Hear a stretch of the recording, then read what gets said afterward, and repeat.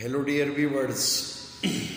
First of all, I am very thankful to all my viewers and students. Uh, those belong to uh, Pakistan and especially those peoples who are from uh, abroad. Uh, they are uh, on routine basis. They are watching my lectures and uh, my presentations. So.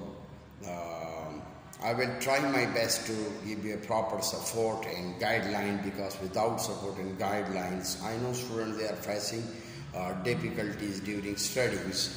So I would like to suggest uh, I have already recorded uh, different lectures on different topics. So if you have any question regarding my uh, lectures, so already all these stuffs they are available and soft form as well as uh, and the form of video.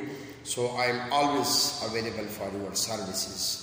Uh, as we know that nowadays in Pakistan, uh, there is going a very wrong practice, especially uh, regarding the use of medicines. Uh, today I've just recorded uh, a, a, video about the hypoglycemic agent, hypoglycemic drug, that how these drugs can be used and what is the management protocol. So first of all, you will have to know about the basic classification of these drugs and then their doses, which is very important. Let's suppose in case of wrong use of drugs, so it will produce certain type of complications, especially in the patients.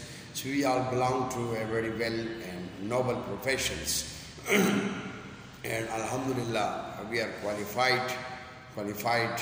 So definitely uh, the people expect that inshallah uh, we will uh, try our best to uh, encapsulate these things inshallah in a proper way.